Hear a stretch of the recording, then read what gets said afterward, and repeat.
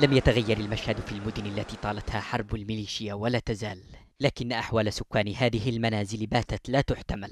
فمعظم من دمرت منازلهم بالكامل يعيشون بلا مأوى فيما يقطن آخرون بقايا منازل مدمرة تنتظر ولا بصيص أمل يلوح في الأفق.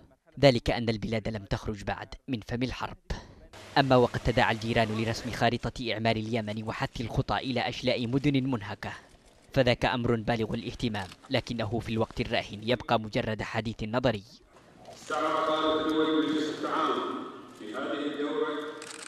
واقعيا استبق مجلس التعاون الخليجي التسويق لنهاية الحرب بتنظيمه ملتقى لإعادة إعمار اليمن. حضره رئيس الحكومة أحمد عبيد بن دغر. وهو تحضير لمؤتمر دولي يقول أمين عام مجلس التعاون الخليجي عبد اللطيف الزياني إنه سيضع برنامجا عمليا لتأهيل الاقتصاد اليمني.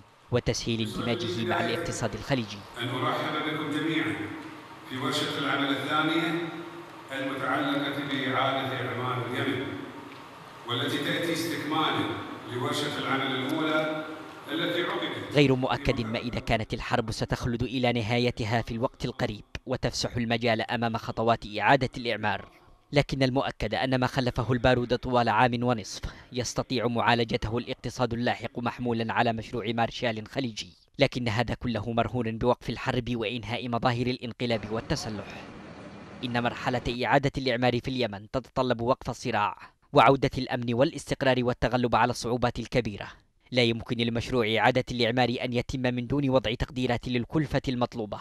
وبحسب البنك الدولي فإن ما يقدر بخمسة عشر مليار دولار هو ما تحتاجه اليمن لإعادة الإعمار.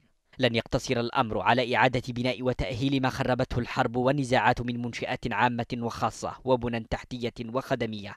بل سيشمل أيضا دعم البرامج الإصلاحية للاقتصاد الوطني وتحفيز القطاعات الإنتاجية بما يسهم في ردم الفجوة الواسعة التي تشكلت بفعل تداعيات الحرب.